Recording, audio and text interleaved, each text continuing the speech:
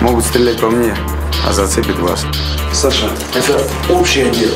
И потом, мы с первого класса вместе. И за все, что мы делаем, отвечаем тоже вместе. Бригада.